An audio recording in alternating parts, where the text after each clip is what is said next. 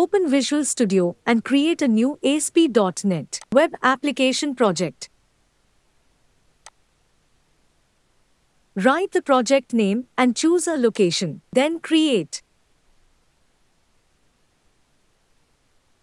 I'm going with empty.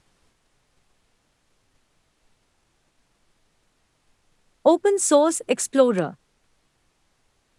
Right-click on the solution file and click on Manage NuGet Packages. Click on Browse and search Entity Framework.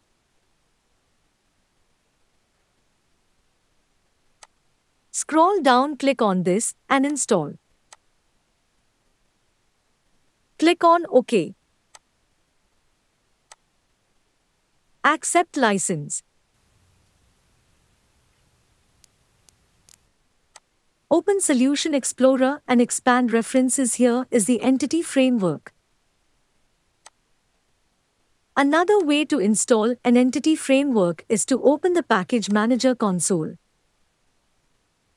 Write the Install Package Entity Framework command and enter. Successfully installed Entity Framework. Thanks for watching.